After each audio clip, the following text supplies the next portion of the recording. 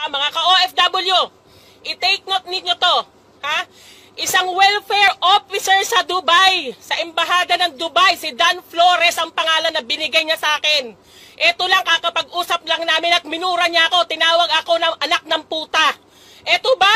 Ito ba ang welfare na officer na ilalagay ng gobyerno? Ha? Ay, ewan ko na lang, pasalamat talaga siya, hindi ko siya kaharap. Alam nyo bang galing ako sa West Zone ngayon dahil dun sa OWA na binibigay nila na food, na food assistance na sinasabi nila worth 200 dirhams? Pagdating ko doon, binibigyan nila ako ng dalawang, dalawang tig 5 kg na bigas at isang maliit na kahon.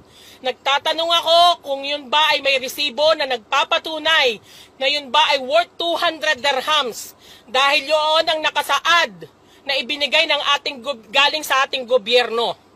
Ang sabi ng taga West Zone, wala daw resibo.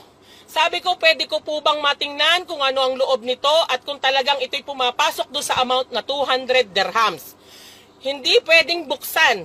Otherwise, kung gusto ko, iuwi ko sa bahay pero ng kinik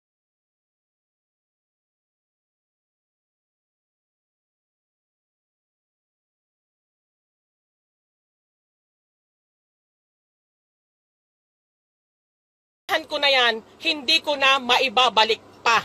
Dahil inaccept ko na, inacknowledge ko na. At po pwede nilang baliktarin na, na baka binawasan ko para lang magkaroon ng anumang issue. Nagtanong po ako sa kanila, nililinaw ko sa kanila. Ang sagot po nila sa akin, hindi nila alam kung anong laman ng kahon na yon at kung magkano ang laman ng kahon na yon dahil yung daw pong kahon na yon ay galing na sa embahada na ipinadala sa kanila sa West Zone. Ito po ay malinaw, napakalinaw po na panggagago ang ginagawa sa atin ng mga embahada. Nilalahat ko na po yan, nilalahat ko na po. Nakakapanggigil po. Hindi ko po sinasabing embahada lang ng Dubai ang kurakot. Napakamalinaw po. Hindi po magsasalita ang ganon ng ang empleyado ng West Zone kung hindi po yun totoo. Yun pong kahon ay galing sa embahada at ipinadala sa kanila kaya hindi nila alam kung ano ang laman at kung magkano ang laman. At ang sabi pa po nung taga West Zone, yun daw po ay nag, wala daw silang alam at wala silang pakialam dahil sila daw po ay nag-donate lamang sa ating embahada. At meron pang ibang kumpanya na nag-donate. Anong ibig pong sabihin nito? Ano pong donasyon? Ang hinihingi po ng OFW ay yung pong galing sa ating gobyerno, yung ipinarelease ni President Duterte na suporta o ayuda sa ating mga OFW. Pero bakit ganun po ang ginagawa nila? Ngayon po, tatanawagan ko po yung Dan Flores na sinas yung binigay niyang numero. Welfare officer po siya sa Dubai. Take note. Welfare officer po siya sa Dubai. Nagmura po at sinabing anak daw po ako ng puta. Ako na nga daw po ang tinutulungan, ayaw ko pang tanggapin. Pero nung, nung time po na sinabi ko sa kanila kung ano yung ipinaliwanag sa akin ng mga taga West Zone, hindi po siya makaimik.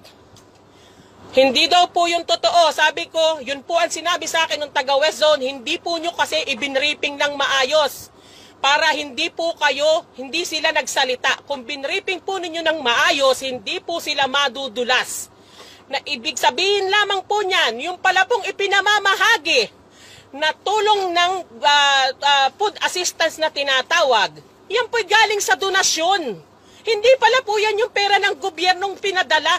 Saan nila ilalagay na naman yan? Napakalinaw po ang panggagago ng ginagawa po ng ng, ng, ng Dubai. Mga wala kayong kwenta. Mga wala kayong kwenta. Kaya kayo namamatayan ng mga OFW sa mga nasasakupan nyo dahil sa mga kawalang hiyaan ninyo. Maging patas kayo. Patuloy kayong sumusweldo sa gitna ng epidemya.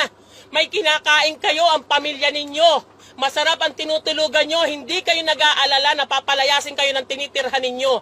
Pero bakit ganyan ang ginagawa ninyo? Doon sa mga OFW na kung tutuusin, kami ang dahilan kung bakit kayo nakaupo ngayon diyan sa inuupuan ninyo.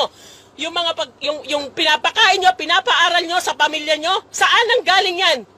Wala kayo dyan kung walang OFW. Kaya dapat naman, hindi nyo man mahalin, at least respeto naman bilang tao. ang ibigay ninyo. Hindi ganyan. Inuuna ninyo ang mga bulsa at sikmura ninyo. Nakakagigil kayo. Yung ibang yung ibang tao, tinatanggap na lang kasi walang wala at saka hindi na sila hindi nila kayang magtanong. Pero anong tingin nyo? Insultong malaki, ginagawa nyong busabos at pulube, ginagawa nyong trapo ang mga OFW. Mga walang hiya kayo, Dan Flores! Anak ka ng ina mo! Makakarating to sa OWA, tandaan mo yan. Sasabihin mo, pasensya na, nabigla ka lang. Anong nabigla? Ganyan ang sinasabi ninyo sa lahat ng OFW na nakakausap nyo, mumurahin. Pasensya na, nabigla kayo. Mga poki ng ina ninyo. Yan ang masasabi ko sa inyo, Dan Flores. Kung tinawag mong anak ako ng puta, mas lalo ka. Hayop ka. Para sabihin ko sa iyo, hindi mo pinalala mo ng OFW at ang hinihingi namin ay hindi nyo pag-aari. Hindi nyo sa bulsa nyo manggagaling yan. Yan ay pera ng gobyerno. Na kung tutuusin sa amin din galing ang perang yan dahil sa mga remittances namin. Tapos ganyan kayo, aabusuhin ninyo, bubus-abusin ninyo ang mga OFW. Anong klase kayo? Mga walang